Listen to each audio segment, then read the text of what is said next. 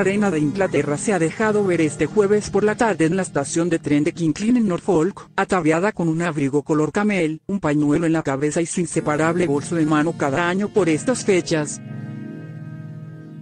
La reina Isabel II de Inglaterra hace las maletas y pone rumbo a Sandringham, la residencia que la familia real británica posee en Norfolk. La soberana es una mujer de tradiciones y siempre recorre en tren los 180 kilómetros que separan al Palacio de Buckingham, en Londres, de su destino estival. Fiel a su cita, este jueves la monarca ha vuelto a dejarse ver a su llegada a la estación de King en Norfolk protagonizando así una icónica y entrañable imagen que ha conquistado a gran parte de los ciudadanos y se ha convertido, al igual que su trayecto en tren, en toda una tradición que marca el inicio oficial de las vacaciones navideñas.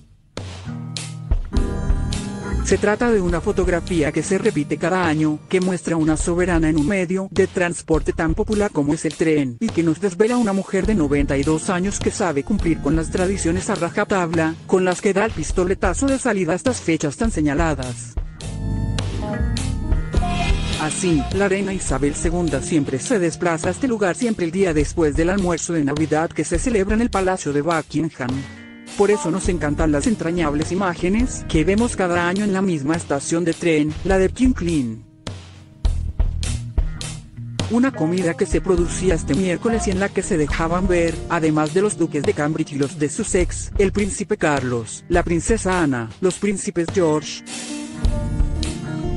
Charlotte y Louis de Cambridge, la niñera María Turrión, Mike y Sara Tyndall, Peter y Autumn Phillips, la princesa Beatriz, el duque de Kent, el príncipe Michael, así como el príncipe Eduardo con su esposa, la condesa de Wessex, y sus dos hijos, Lady Louise Windsor y James, visconde Severn ataviada con un abrigo color camel, un pañuelo en la cabeza y rodeada por algunos de los miembros de su seguridad, se ha dirigido hasta su residencia de Sandringham.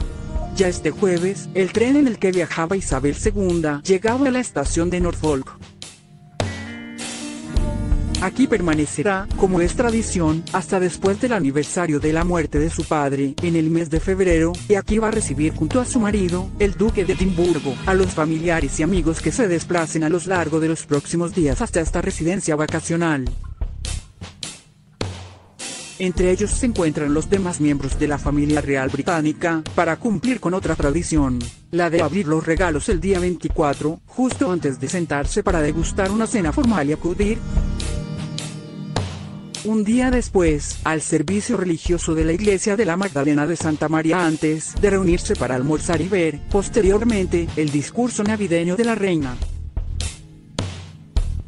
Así, se espera que tanto los duques de Cambridge como los de Sussex se acerquen hasta este lugar para pasar la Navidad junto a Isabel II, y eso que en un principio los rumores de tensiones entre ambos matrimonios dejaban en el aire la posibilidad de que este encuentro se produjera. Pero finalmente, los hijos de Carlos de Inglaterra, sus respectivas esposas, el príncipe de Gales y la duquesa de Cornualles, se reunirán en torno a la mesa en Navidad. Todo el mundo estará en Norfolk este año, confirmaba hace solo unos días una fuente real al diario británico Daily Mail. ¿Quién no parece que vaya a acudir en esta ocasión a la casa de campo de la familia real de la madre de Meghan Markle, Doria Ragland? Aunque en un primer momento se especuló con que se sentaría en la mesa junto a los Windsor en esas fechas tan señaladas, no es seguro que vaya a ser una más junto a ellos, según ha informado finalmente la edición británica de Hola.